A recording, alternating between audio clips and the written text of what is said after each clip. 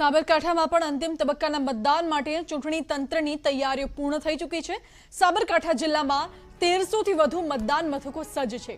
છસો પચાસથી વધુ મતદાન મથકોનું લાઈવ વેબકાસ્ટિંગ કરવામાં આવશે. જિલ્લામાં ચોવીસ સખી મતદાન મથકો પણ તૈયાર કરવામાં આવ્યા છે. મતદાન કેન્દ્રોમાં ચૂંટણી પંચના નિયમોને અનુસરવા ચૂંટણી અધિકારીની અપીલ છે. બીજા અને અંતિમ તબક્કાનો પ્રચાર કાર્ય શાંત થઈ ચૂક્યું છે. હવે બીજી તરફ ચૂંટણી તંત્રને પણ સજ્જ, સજ્જતા કરવાનો કાર્યક્રમ શરૂ થઈ ચૂક્યો છે એટલે કે જે પ્રમાણે મતદાનનું આયોજન કરવામાં આવી રહ્યું છે તે મતદાન મથકો જે છે તે માટેની તૈયારીઓ શરૂ કરી દેવામાં આવી છે. આ ઉપરાંત સુરક્ષા કર્મીઓને પણ લાગુ કરવા માટેની કાર્યવાહી પણ શરૂ કરી દેવામાં આવી છે. આપણી સાથે છે સાબરકાંઠાના કલેક્ટર હિતેશ કોયા કેવા પ્રકારનું આયોજન શરૂ કરવામાં આવ્યું છે? જે પ્રમાણે મતદાન મથકોની તૈયારીઓ કરવામાં આવી છે? જે પ્રમાણે છેલ્લા કેટલાક સમયથી આ પ્રમાણેની તૈયારીઓ પણ ચાલી રહી હતી. શું તૈયારીઓ છે અત્યારે? ગુજરાત વિધાનસભાની જે જનરલ ઇલેક્શન બે હજાર બાવીસ છે, એના બીજા તબક્કામાં પાંચમી તારીખે સાબરકાંઠા જિલ્લાની ચાર વિધાનસભા બેઠકો પર મતદાન થવાનું છે. એ સંદર્ભે આપણા જિલ્લાના કુલ તેરસો ને ત્રેવીસ મતદાન મથક પર આપણે તમામ પ્રકારની તૈયારીઓ કરી દીધેલી છે.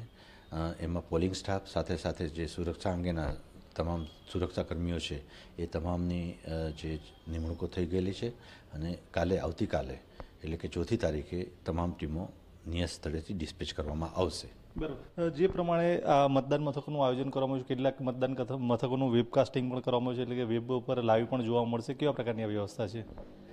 આપણે આપણા જિલ્લાના પચાસ ટકા જેટલા મતદાનો મથક છે મતદાન મથકો એ ખાતેથી વેબ વેબકાસ્ટિંગનું આયોજન કરેલું છે. એ માટેની તમામ તૈયારી થઈ ગયેલી છે અને આ જે વેબકાસ્ટિંગ છે એના માધ્યમ થકી એ મતદાન મથકની ગતિવિધિઓ ડીઈઓ કચેરી સીઓ કચેરી તેમજ ઈસીઆઈની કચેરી સાથે સીધું જ જોવા મળશે. જે પ્રમાણે આ આયોજન કરવામાં આવ્યું છે આ ઉપરાંત ખાસ પ્રકારે વિશેષ કોઈ આયોજન કરવામાં આવ્યું મહિલાઓ માટે છે દિવ્યાંગો માટે છે આ પ્રકારની કોઈ વ્યવસ્થા કરવામાં આવી હોય? આપણે મહિલા સખી મતદાન મથકો આપણે આઈડેન્ટિફાઈ કરેલા છે. ચાર વિધાનસભાની દરેક વિધાનસભામાં કુલ સાત લેખે કુલ આપણા ટોટલ અઠ્યાવીસ મતદાન મથકો સખી મતદાન મથકો તરીકે છે કે ત્યાં આપણે તમામ પોલિંગ સ્ટાફ તો ખરો સાથે સાથે જે પોલીસ કર્મી છે એ પોલીસ કર્મીઓ પણ મહિલા તૈનાત કરવામાં આવેલા છે. આખરી સવાલ જે પ્રમાણે ઈવીએમ મશીનની દરેક વખતે કોઈના કોઈ જગ્યાએ સમસ્યા આવતી હોય છે આ સમસ્યાને નિવારવા માટે કેવા પ્રકારનું આયોજન કરવામાં આવ્યું છે? ઈવીએમ જે છે એમાં ક્યારેક ક્યારેક જે કોઈ ખામી સર્જાતી હોય છે. એ ખામી બે રીતની હોય છે. ઘણીવાર આપણે જે મોકપોલ દરમિયાન હોય છે એટલે કે પોલિંગ ચાલુ થતાં પહેલાં એ પ્રકારની હોય છે. ઘણીવાર પોલિંગ દરમિયાન પણ જો કોઈ ખામી જણાય આવે તો એને એ યુનિટ તરત રિપ્લેસ કરવામાં આવે છે.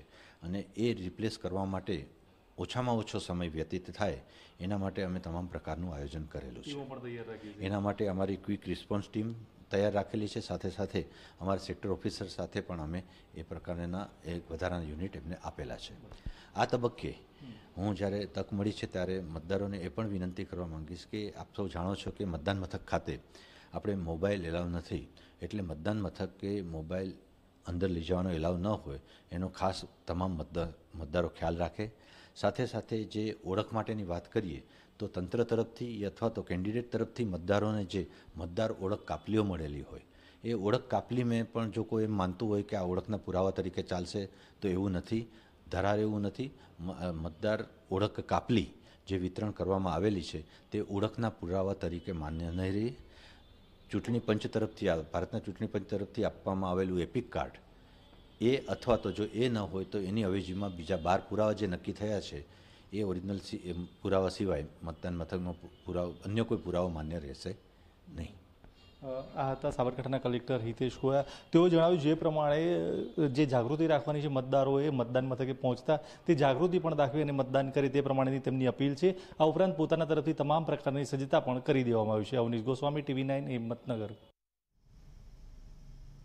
તો જિલ્લામાં ચોવીસ સખી મતદાન મથકો પણ તૈયાર કરવામાં આવે છે. સાબરકાંઠામાં પણ ચૂંટણી પંચ દ્વારા તમામ તૈયારીઓ કરી લેવામાં આવી છે.